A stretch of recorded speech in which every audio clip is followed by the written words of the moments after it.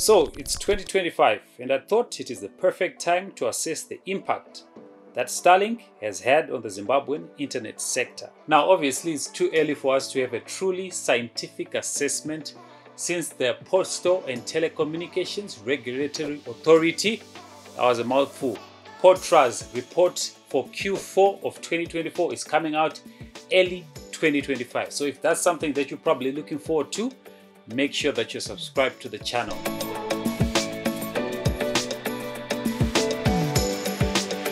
Now I know it feels like an eternity, but we've only had Starlink for just a few months, but a lot has happened since the launch of Starlink in Zimbabwe. Starlink was launched in Zimbabwe on the 7th of September, and Zimbabwe was the 14th country on the continent to get the low Earth orbit satellite service. So the question is, has Starlink had an impact on the internet space in Zimbabwe? The simple answer is yes. The internet space is vastly different since the introduction of Starlink into Zimbabwe. In case you've forgotten, Zimbabwe had some of the most expensive internet on the African continent and getting unlimited internet for under $50 was something that was unheard of.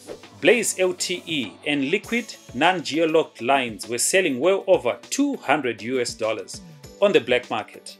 The cheapest internet one could get was from TelOne with their ADSL but it was very slow and experienced a lot of faults. Generally, internet in Zimbabwe was bad across the board and service providers did not care. Now things are a whole lot different. Liquid Telecom's non-geolocked lines are now selling for $20.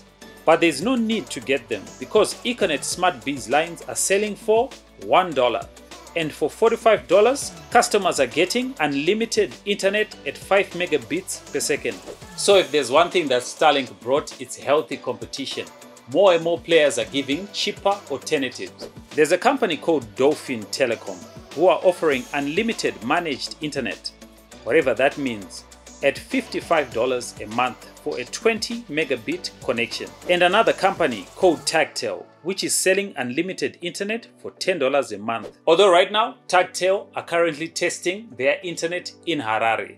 Now Zimbabweans have a lot more options to choose from thanks to the introduction of Starlink. Now secondly, Starlink also brought with it affordable internet in the rural areas. Now a few months ago, it was unheard of that somebody in the rural areas would pay $30 for internet unlimited internet for that matter. In fact, lodges in many tourist destinations across the country used to fork out thousands of dollars a year to connect to the internet through VSAT, which was very slow by the way. Now, because of economic reasons, it made no sense for local players to invest in the rural areas. Luckily, Starlink was there to intervene. So, inversely, you see that the government managed to cover the whole nation. They managed to give 100% internet coverage to Zimbabwe just by introducing Starlink into the country. Now thirdly, Starlink managed to introduce better quality internet into the country. You know Zimbabweans are getting probably the best internet they've ever had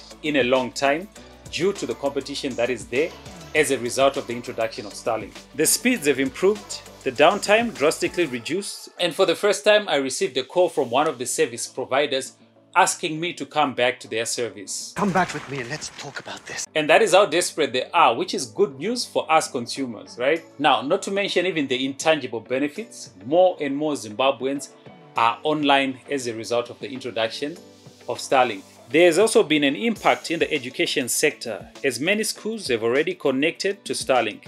The same can be said about the health sector as well. And there's also been a direct benefit to the economy through the collection of taxes. Also, there's been a high uptake of solar products to power the Starlink kits like portable power stations and many other cascading benefits. Now we can only know the full extent of the benefits that have accrued to the nation when POTRAZ released their report. Now, when I think about it, we really needed Starlink to get into the country. I think a lot of things have balanced out.